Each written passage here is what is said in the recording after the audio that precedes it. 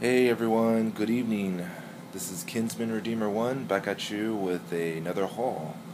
Yeah, I can't believe I got I was able to do another haul because in my last video I said that was going to be my last haul because I didn't have the money, but guess what?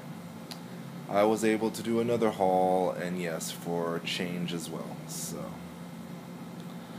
um, I usually show the items, but they're all refrigerated, so I said, okay, at least let me do a video and show the receipt as well. So, only got three things at at Walgreens, as you can see.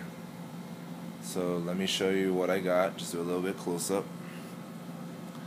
Um, the things that I got today at Walgreens, and by the way, today is July 3rd, 2012. I don't even know what year I am in. July 3rd, 2013. Sorry about that. Um, I just got the Starbucks refresher for a dollar. You get a dollar register award back with that. Um, I got the Butterball turkey bacon that is 99 cents. There is a coupon for 55 cents off of the turkey bacon in this past Sunday's Smart Source or Red Plum, I'm not sure. But just take a look. Um, I didn't use the coupon because at the end of the giving them the register award, it came out to 48 cents.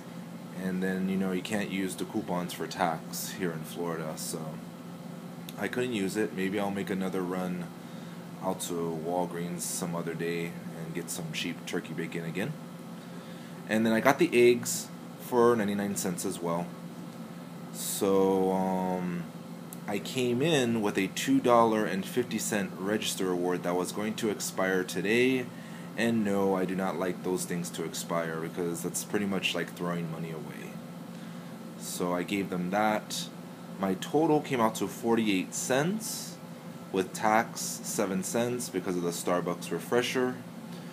Um, my total was 55 cents. 55 cents. Um, I saved $5.29 and my savings value was 92%.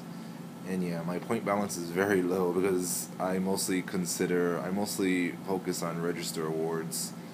But um, yeah, maybe I gotta work on that as well. So, um, again, these three items, like I said, I saved $5.29. I only paid 55 cents. Not bad, not bad at all.